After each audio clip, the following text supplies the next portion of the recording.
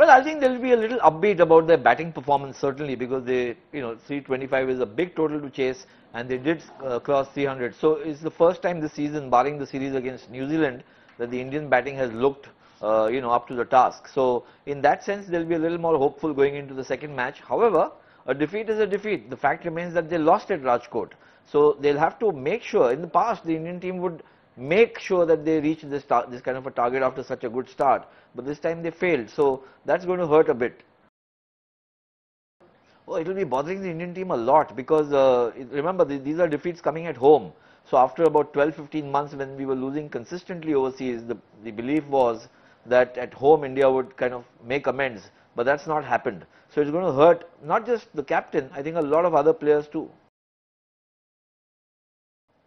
Well, look, Cook is in the form of his life. So, to I mean, even if there are plans, he's obviously overcoming those plans. He's becoming, or he's looking to be better than the plans.